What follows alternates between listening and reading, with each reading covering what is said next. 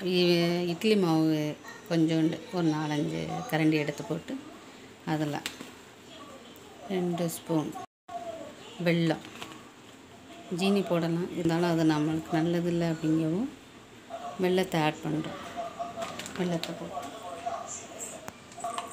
ஏலக்காய் தூள். கலக்கி வச்சுக்கணும். கொஞ்சம் கட்டியாக இருக்கிறதுனால லைட்டாக தண்ணி ஊற்றிக்கிறோம் நல்லா கலக்கி விட்டுட்டு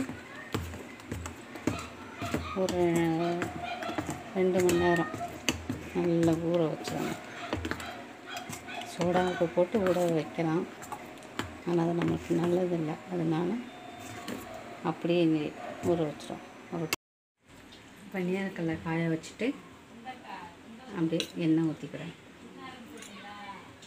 கல் நல்லா காஞ்சிக்கிடுங்க லைட்டாக இப்போ கல் காஞ்சிருச்சு. அப்படியே ஒவ்வொரு இதுலையா அப்படியே ஊற்றிட்டு மேலே வரைக்கும் ஊற்றக்கூடாது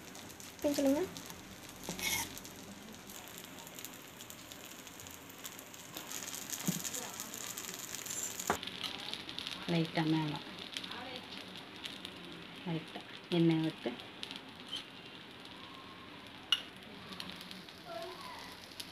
மூணு நிமிஷம் வேகட்டும். சரி.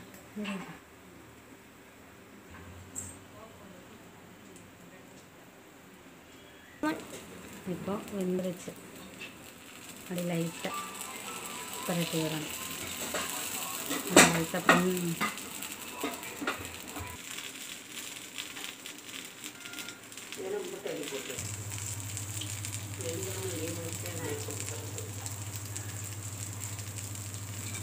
சுற்றி லைட்டாக எடுத்து விட்டுட்டு இப்படி பரட்டி விட்டுறோம் இப்போது வெந்துருச்சு. இப்படி ஒவ்வொன்றா அப்படி எடுத்து போட்டு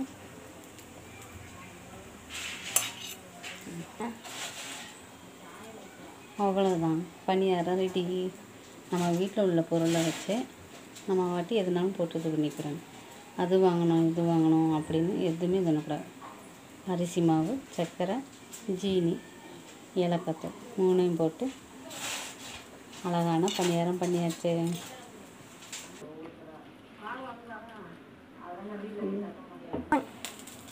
இப்போ அழகான பணியாரம் ரெடி.